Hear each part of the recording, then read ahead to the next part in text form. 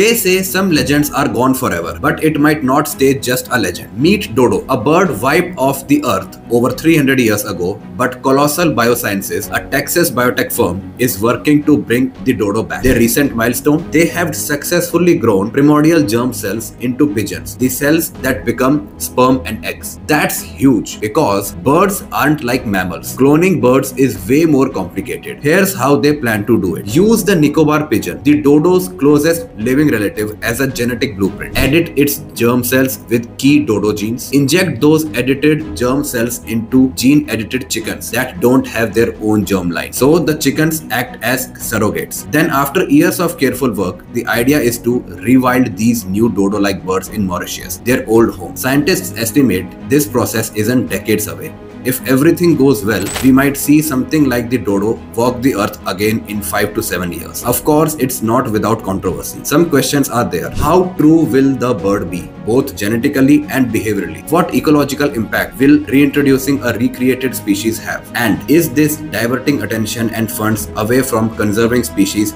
that are already endangered. Still, one thing is clear science is pushing boundaries. The day might come when we don't just read about the dodo, we see it not as a ghost from the past but a living bird in Mauritius once more.